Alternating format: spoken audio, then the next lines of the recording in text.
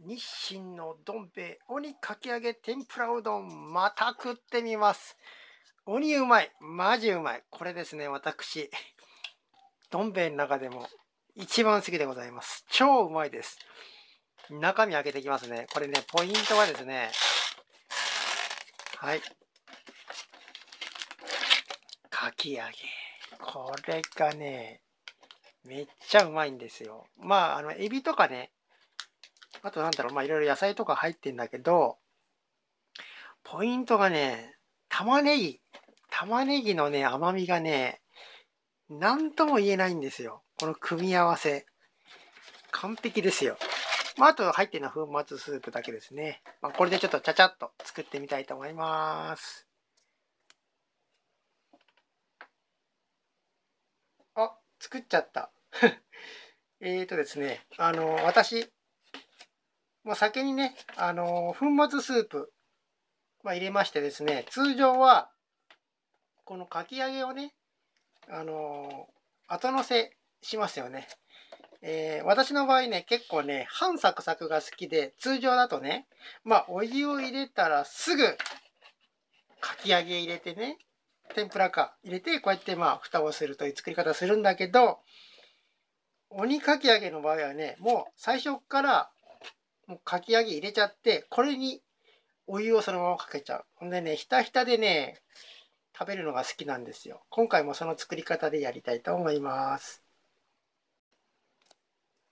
はい、そんなわけでね、もうね、お湯をぶっこんじゃったんですけどもね、はい。ひたひたでございます。まあこれで5分を置きますけれどもね。これね、調べてみたら、これ通常サイズなんだけどね、まだ他にもね、特盛りもあるんですって。うん、これ、特盛りで食いてえな、本当は。特盛りね、ちょっと売ってないんですよ、近所のスーパーで。これのね。うん、それがちょっと残念かな。これぐらいね、すぐペロッと食っちゃいますからね、ちょっと物足んないんですよ、普通のサイズだとね。私、まあ、あの、そんなにね、大食いじゃないんだけど、これならね、特盛りで生きてえなという感じがしますね。うん、まあ、あの たくさん食べる方はね、是非特盛りで買ってみてください。さあ、そろそろ出来上がるかなと、どうでしょうかね。お、来ましたね。はい、できました。どん兵衛ちゃん。それでは、オープンうわっふいうわっふい来ましたね。はい、先のせしなしなでございます。天ぷらが。どんな感じ？ああ、いい感じ。もうね、崩しちゃう。この食べ方がもう好きでございます。はい。麺もいい塩梅ですね。はいはいはいはい。はいはいはいはい。うん、いい感じ。あ、ちょっとスープ入れすぎちゃったかな。お湯。あ、ちょっと線より上に入れちゃったわ。まあいいや。とりあえずこれで食ってみましょう。カメラをこっちに置いてと。じゃあいただきます。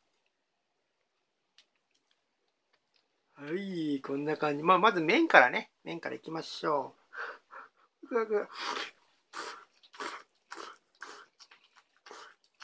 うん。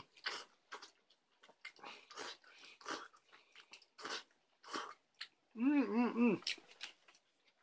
麺はいつものどん兵衛でございますね。太麺でね、食べ応えがありますね。結構ツルツルですね。うん。まあやっぱり、うどんといえば、どん兵衛か、あとは赤いきつね？ねえ、なると思うんだけど、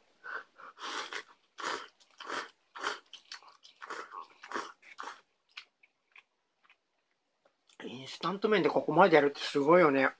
で、僕ね、あの、まあ、粉末スープはね、半分しか入れませんでしたけど、もうこれでも十分出汁効いてますね。味もしっかりしてます。ちょっとスープでこう、うわあっちゃあっちゃ。いや、いいですね。もうバッチリは全然 OK ですよ。はい。さあ、じゃあそして本題のかき揚げちゃんいってみますかね。はい。この辺り行こうかな、かき揚げ。これがたまらんの。これも玉ねぎだね、これいきなりね。いきますよ。ああ、うまい。うまい。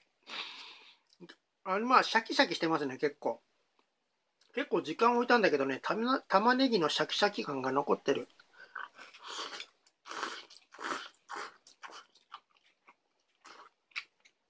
でね、この麺と一緒にね、ちょっとかき揚げを、崩したかき揚げをね、いただく。これね、やっぱり絶対バラバラにした方がうまいですよ。こうやってバラバラにした方が。で、麺と一緒にいただくというのがね、ベストな食べ方ですね。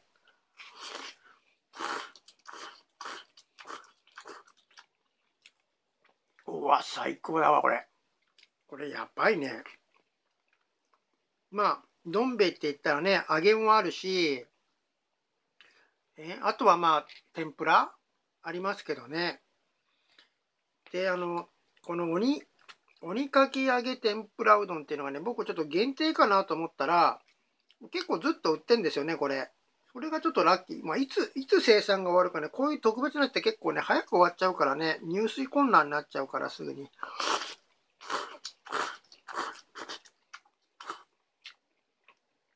甘い。なので私一応ね、心配なので、これはもう箱買いしました。うん。12個入り、12個入りでね、ゲットしましたけど、まあ一応それ、僕も Amazon で、あの、買ったんで、あの、一応それリンク貼っときます。普通盛りとね、あと特盛りもまだ手に入りますので、まあ動画の説明欄の方にリンク貼っときますね。うん。これはやばいでしょ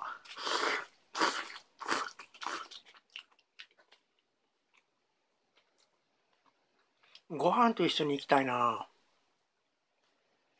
あのね、ちょっとまあ、さっき説明したように、ちょっとね、間違えてさ、お湯を多めに入れたからさ、で、ましてや粉末スープも半分しか入れてないからさ、まあ、かなり薄くなるかなと思ったけどさ、まあ、そんなことはなくて、結構出汁も結構パンチ効いてますよ。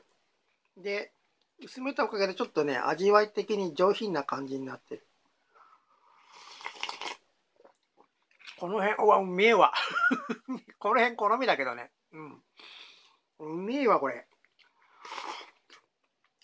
あ、やっぱりあとは、まあ、今回さ、まあ、ていうかね、もう普通盛りしか買ってないんですよ。普通盛り買っちゃったからさ、足りない。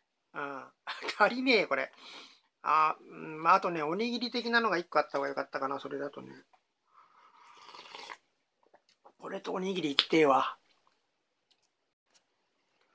まあ、うちのさ、チャンネルもさ、始めてそろそろ1年経つのかな。あと、今日ね、まあ、撮ってる日がね、11月の7日かな。うん。あと10日だ。あと10日ほどで1周年になっちゃうんだね。うん。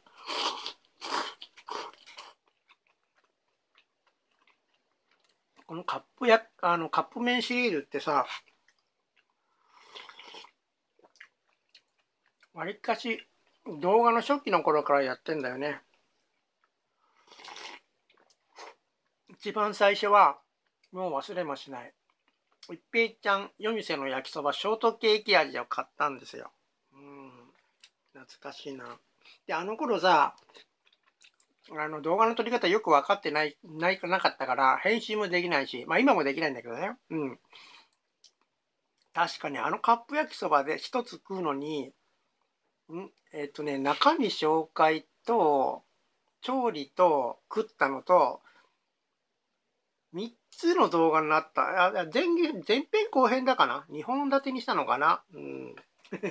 今ね、あの、カメラ一時停止機能があるからそんなことしなくてもいいんだけど。そんなことやってましたね。でね、焼きそばのショートケーキ味でしょ？だからそういうまあ、なんか色物というかね、うん、なんかちょっと変わったやつで、なんか YouTuber の間でもは流行り、流行ったんですよね。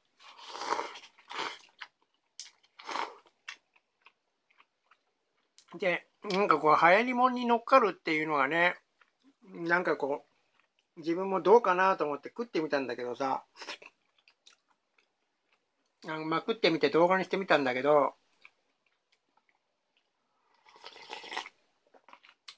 結構評判悪かったのね。美味しくない美味しくないって。みんな美味しくない美味しくないって言ってんだけど、自分はね、めちゃくちゃうまくて あら、これなんてうまいのと思ってさ、普通の焼きそばよりうまいじゃんと思って。自分は絶賛したんだけどね。まあ、あれね、ショートケーキ味、未だに、そうだね、トップ10に入るんじゃないかな。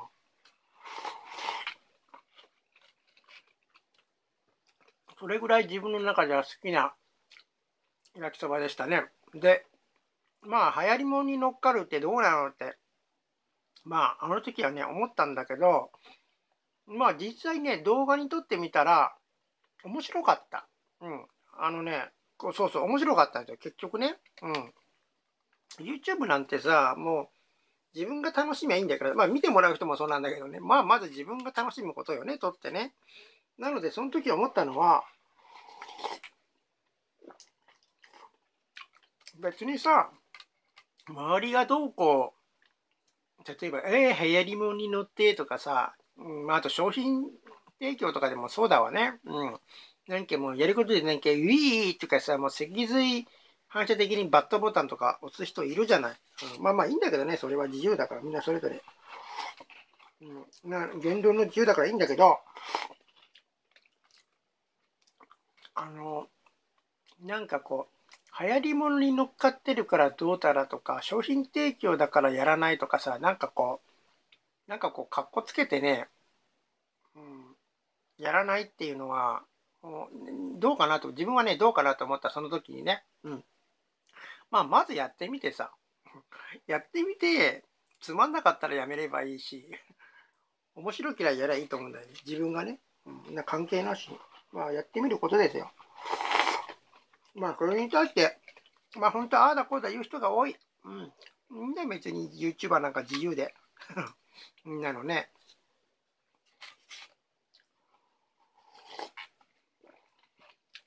別に犯罪を犯してるわけでもないんだから、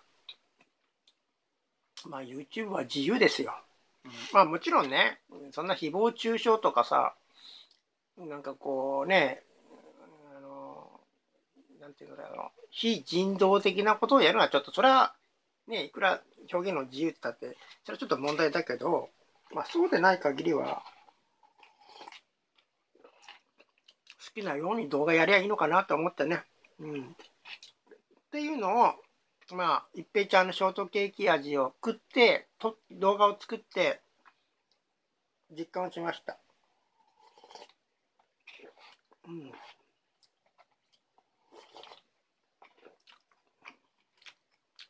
あ、全部食っちゃう。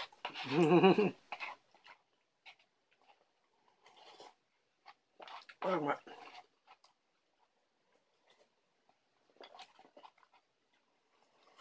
うん。